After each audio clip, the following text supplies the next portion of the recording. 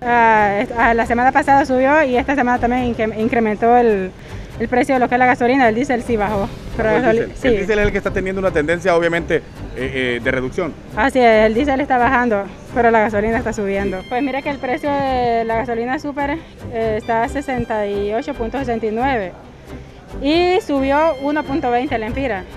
Y la regular estaba, está a 61.72, subió 1.21 también. Y lo que es el diésel está a 54.70, ba- bajó.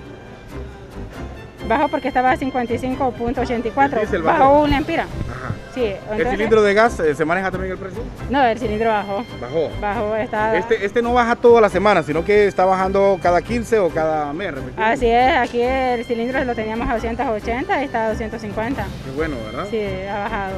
Y, y hay personas que dicen, bueno, ¿y de qué sirve que baje el cilindro y no hay nada que comer? Pero bueno, lo importante es que ha bajado, pues.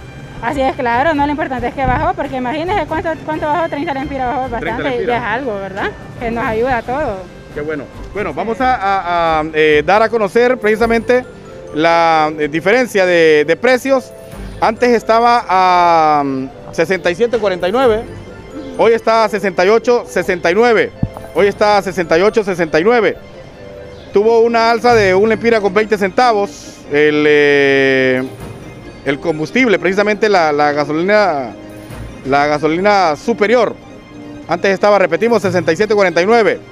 Mientras tanto, eh, la regular, la regular tuvo precisamente eh, un precio de 60 con eh, 51 centavos.